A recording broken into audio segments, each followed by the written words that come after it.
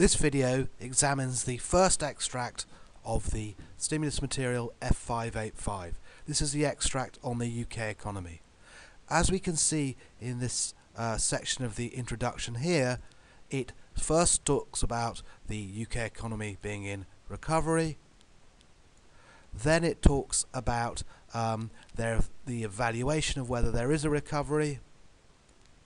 Some economists then say there might be effects on unemployment and uh, that that might be negative.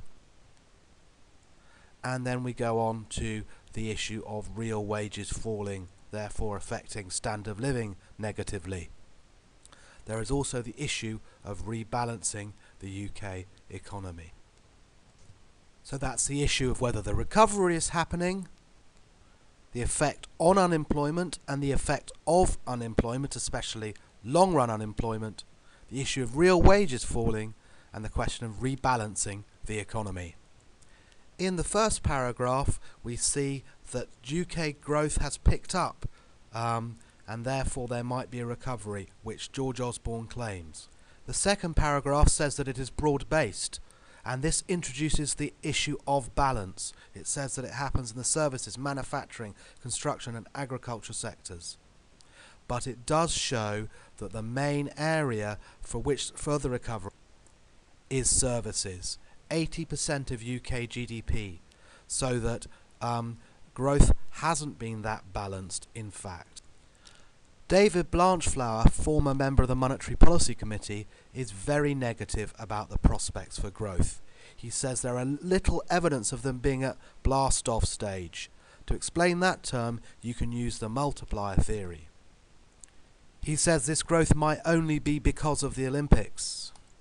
He says there was a reckless austerity policy that talked down the economy.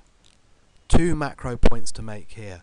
One is if you have austerity, which is lower government spending and possibly higher taxes, that will reduce the level of aggregate demand. We must evaluate that against the advantages of reducing the deficit, principally lower bond yields, that's long-term interest rates. Talking down the economy refers to the effect on expectations and animal spirits of the Chancellor's statements. He claims last time there was a recovery, it faltered. However, in actual fact, growth has been quite good since this article was written. Have a look at the statistics on the screen here. And here. This is where um, David Blanchflower is looking at the data and you can see why previously it was a little bit up and down. The recovery didn't look very strong. But now, look, what's happened in successive quarters since the article was written. Pretty good growth, returning towards trend.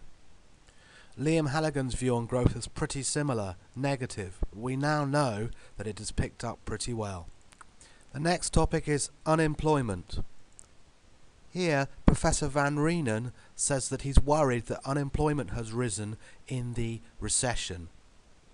He points particularly to the rise in long-run unemployment. This might be a hysteresis effect, where a amount of demand-deficient unemployment de-skills people and increases the natural rate.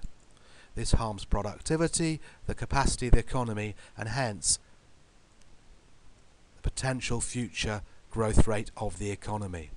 I have written a separate document evaluating the Reenen view in this extract. Please go to my website and pick that one up www.tnml.ch slash eco.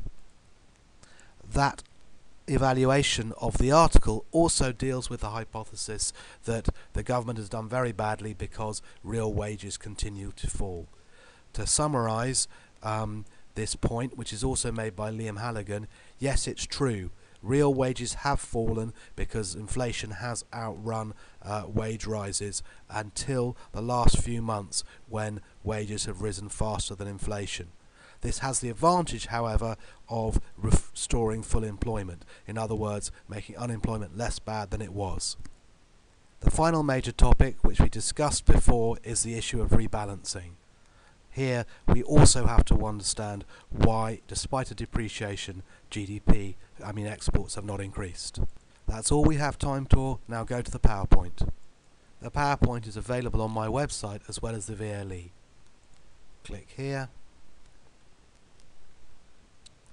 You can see the evaluation of Reenen you might need to use and the PowerPoint here from tutor2u.